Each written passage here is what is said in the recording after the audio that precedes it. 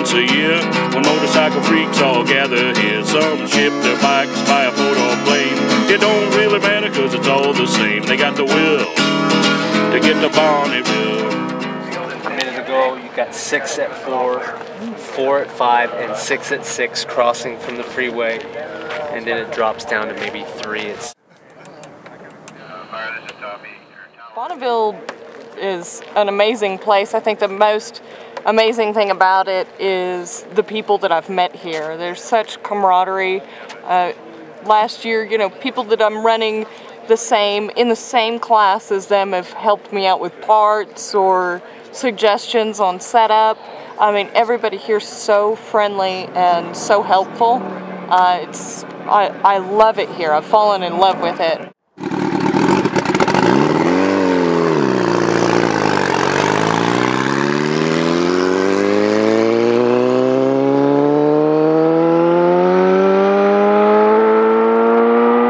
What's my next number?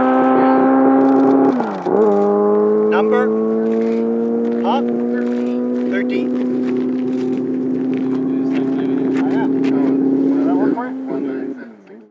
Well, I started riding bikes at 16. I bought an old beat up bike from a neighbor of mine for $200 and fixed it up and rode it for means of transportation. I don't come from a motorcycle family, you know. I wasn't raised with bikes, but I was hooked from the first time. And then uh, started riding sport bikes right after, you know, kept bought a couple of bikes, a couple more bikes after that, and at 19 I got my road racing license, and I've pre-ridden Baja, plan on racing it this year, have you know a lot of off-road and on-road experience, and then um, got into a Yamaha dealership in my early 20s, and when I sold out of that, I decided to go to something more feminine and, and start up in construction. Uh, I, I built houses for a few years and I missed the motorcycle business so much and I missed being around the motorcycle people, motorcycles. So I opened up another dealership about five years ago. Uh, actually, four years ago, a little over four years ago in Dallas, Texas. High Five Cycles. It's a used bike dealership, also you know, parts department, full service department, and uh, I love it. Uh, I'm glad to be back in the motorcycle world.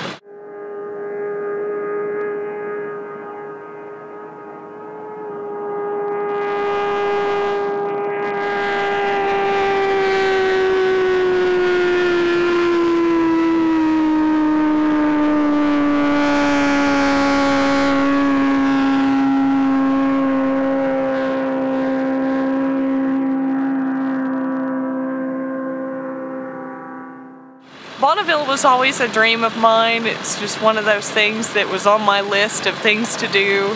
I've always heard about it, and it's I everything that I do. If I do it, I do it big. And I decided, you know, if I'm going to go out here, I want I want to go over 200 miles an hour. I want a big record. I'll go and and do my best to get something fast. So I built a turbocharged Hayabusa, and that's what I'm running here.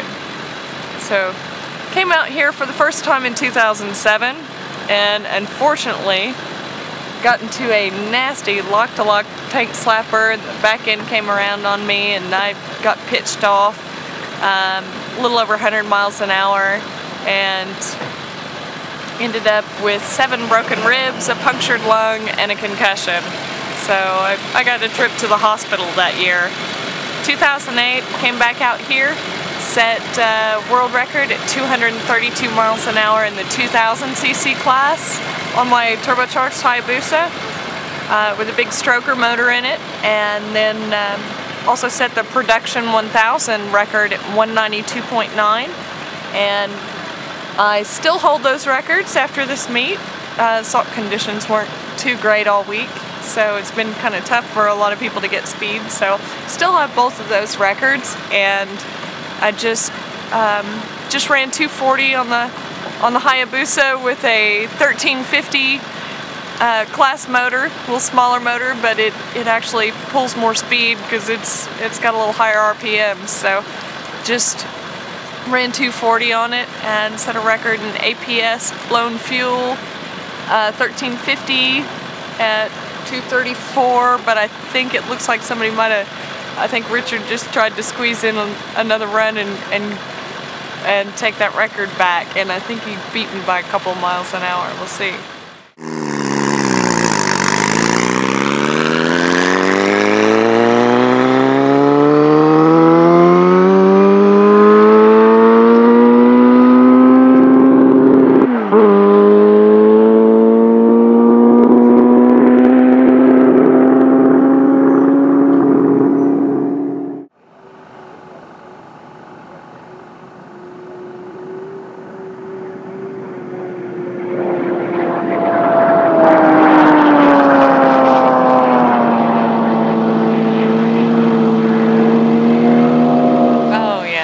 Bonneville's a definite test of patience. You know, it teaches you patience.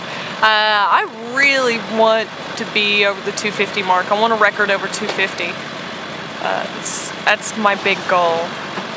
It's hard though because that 240, that one run at 240, I was well over 240 going into the mile and just roasted my tire off. It just spun through the entire measured mile and came back and my tire was had huge chunks missing, blisters all over it. It's really gruesome. So, you know, it's hard to keep it's hard to keep a machine together and keep everything working, especially on a surface like salt. There is something about this place that just attracts the you know the neatest people on earth too. So when they say you know talk about salt fever, boy, they're they're right. It it is an addiction.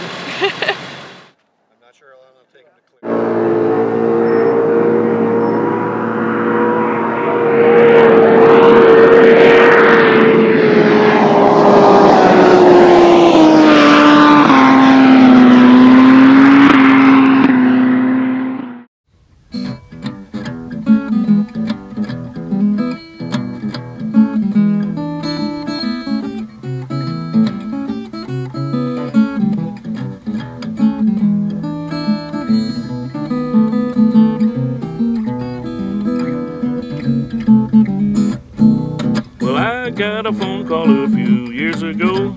Said Bonneville is where you need to be. So I packed it up and I headed west just to see what there was to see. Well, by the speed bug I got bit. Now I just can't quit. I got the salt flats fever.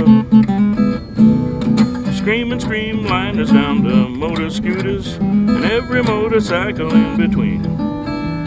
Five full days of two-wheeled land speed racing, well, that's what there was to be seen. By the speed bug I got bit, now I just can't quit. I got the salt flats fever.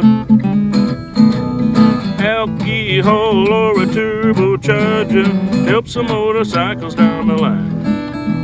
After a week of watching all these bikes, I'm here to say the Bubs event is fine, fine, fine. Well, I don't know if I can wait a year. Come next September, I hope to be back here. Watching all the bikes and meeting all the folks. Hanging down at the barn, hearing some lousy jokes. By the speed bug I got bit. Now I just can't quit. I got the salt flats fever. They're on course they're past the three. They're getting faster, just look and see. Tucked down low riding with a smile, screaming on through the famous measured mile. Well, by the speed bug I got bit. Now I just can't quit, cause I got the salt flat fever right here at Bonneville.